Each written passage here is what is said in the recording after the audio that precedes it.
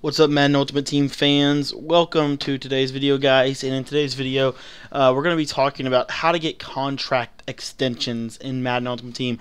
This is something as a beginner player in MUT this season I kind of struggled with and uh, I want to quickly show you uh, a way to get cheap contracts in MUT. Okay so as you see here I have a couple players uh, that have contracts that are about to expire or that already have expired. So I'm going to go out and get some more contracts with my coins here. So the way most people would go about getting their coins, they would go to the auction block, which is what I did.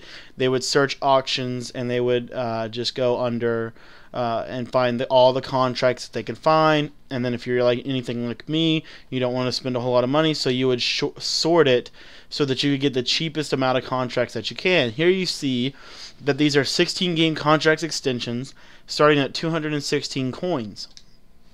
Now we're going to back out here and I'm going to show you how I like to do it to save just a little bit of coins uh, and make it even cheaper uh, for Madden Ultimate Team. So I like to go over to the store tab and then I'm going to go to the save with bundles uh, selection here and then I'm going to scroll over to the bronze items by hitting R1 one time and now you see that I have the same bronze contract extension uh, of 16 games for 100 coins instead of 216 coins.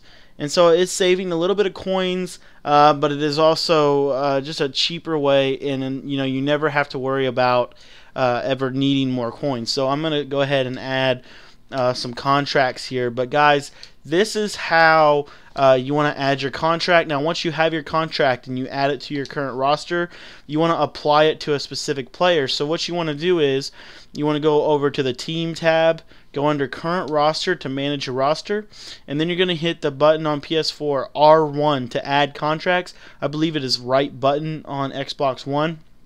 You see here, now I can add contracts to this Terrance Knighton player where his contract's about to expire and you want to just go ahead and apply them and you would just go down the list and however many contracts you want to apply you can apply them to all your players here. Typically the way they sort them is the guys who have the least amount of contracts to the guys that have the most amount of contracts. So you want to take advantage of this little tip here in Madden Ultimate Team 25 this is one little small way uh, that I'm trying to get ready for Madden uh, 15 is by preparing in Madden Ultimate Team 25 by making myself familiar with the game and how the game works thanks for watching today guys if you feel this video deserves uh, some uh, a like rating, I would ask that you leave a like rating below.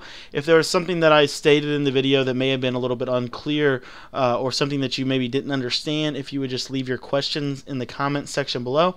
Thank you for your time today, guys, and we'll talk to you guys soon.